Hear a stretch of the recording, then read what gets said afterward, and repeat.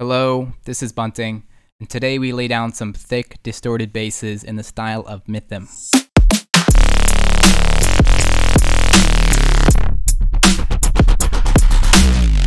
As always, all the presets here, as well as this whole project file and many more, are available on my Patreon.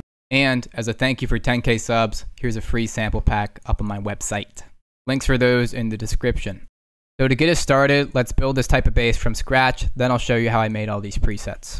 Like all great sounds, it starts with a bunch of basic shapes. Let's grab them on every oscillator. Oh my gosh, beautiful already. And yeah, select some different shapes, see what you like. And you can also kind of mess with these levels to get a bit of a richer tone. Yeah, you might notice that playing different every time, which we don't really want for this, so we could turn down the phase randomization. Now it's the same every time. We could tweak the phase, slightly alter the tone.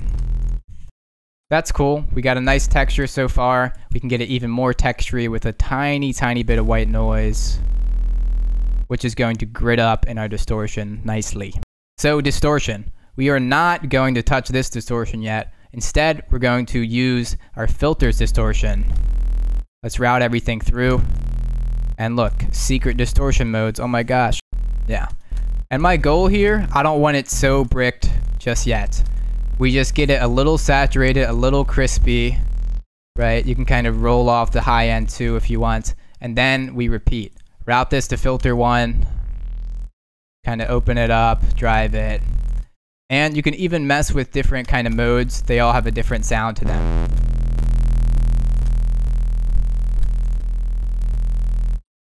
Yeah, so find something you like, have a good time with it, then we can distort our distorted distortion.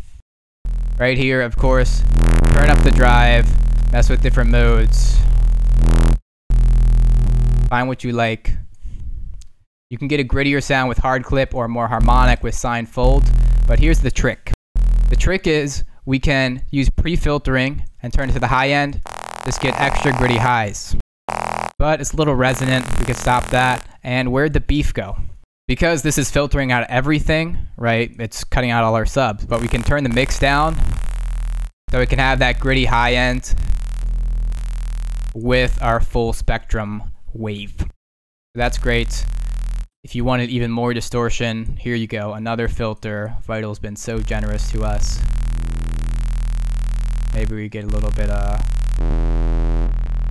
diode. Jesus. Ladder. That'll do. And the icing on the dubsteppy cake. The compressor. Multiband. Turn the attack up, gets it nice and clean and loud. And you can kind of mess with the release for a cleaner or like messy, louder sound. Now, it's nice to have stereo on sounds, right? This chorus gets the job done, but it's a little phasey. For a bit cleaner stereo, you can just grab this stereo knob here, put it on drive or really anything, and it's super wide now. What this stereo knob thing does is it plays a different amount of distortion in the left channel versus the right channel, which just makes it super wide. You can have just the slightest amount and yeah, nice and wide.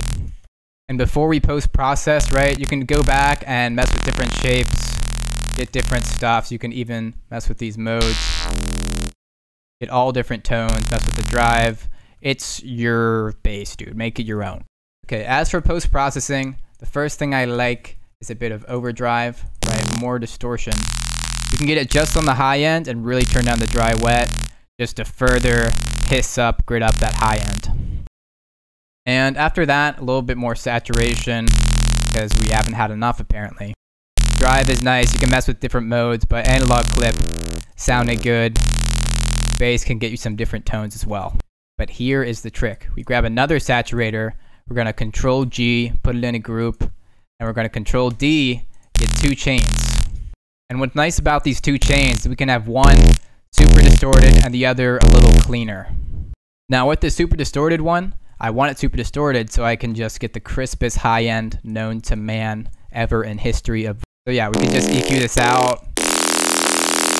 Oh geez, and then layer it, turn down that amount, yeah, got some harmonics out of it, and just a whole lot more high-end presence and grit for ultimate boof.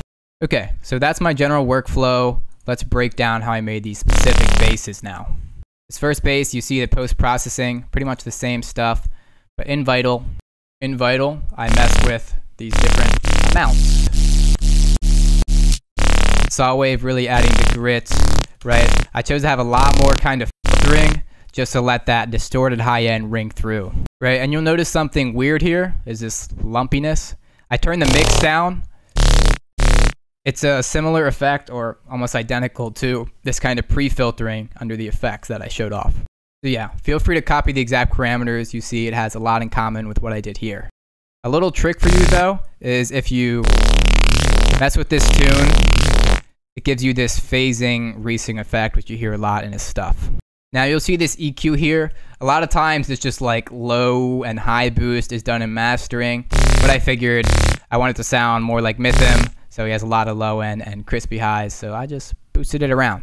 And a little mid scoop as well. All that low boost and mid scoop affects how it sounds into distortion too.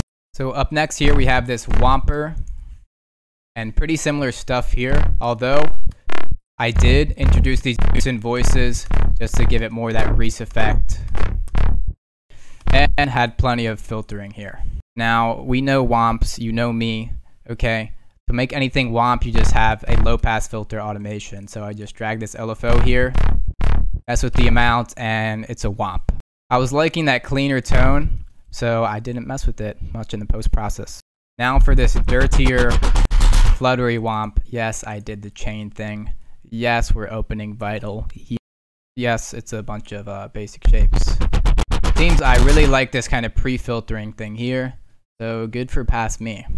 A little bit of this Reese effect, the stereo, right? And I decided not to uh, do the stereo on this distortion here because I felt like this chorus was enough and I just wanted some kind of straighter distortion, you know? I just needed that thick tone, straight up. And of course, it's fluttering here. And we have this on triplets because that flows. Now, what's nice is a little bit of reverb, right? I have this automating up. Makes for a cool, like, dynamic rising effect. But when you put that into more distortion, it just, like, destroys it and sounds kind of insane. Last but not least, our thicky, boofy fill guy actually his real name, Phil, legally Philip for uh, long term. I was feeling much more square wavy on this one. All right, I was liking a lot of saws and low pass, but square waves have my heart at times. First thing you'll probably notice is this pitch bend. I have that automated here for that whoa whoa. And for the whoa whoa instead of the mm, the whoa whoa, that's a filter. Got a nice little phrase to that and had a similar kind of reverb trick It just sounds sick into a bunch of more distortion. Okay, we love it. We love But yeah, go and make some gritty, mythemy, saucy basses of your own. And yeah, even try this kind of parallel processing trick on some other styles of basses because it's, it's, it's OTT too. OTT's out, this trick is in. As always, this whole preset thing and the whole project, that's all on the Patreon if you want to support me there. And cop that free sample pack, buntingmusic.com. All these links in the description. Check it out.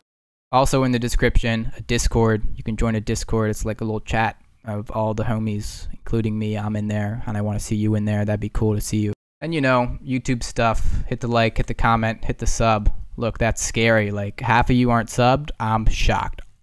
That covers it. Let me know in the comments what future videos you want to see from me. Ask any questions you might have about what the heck just happened here, and just express yourself. And I don't even know, man. Make bangers, dude.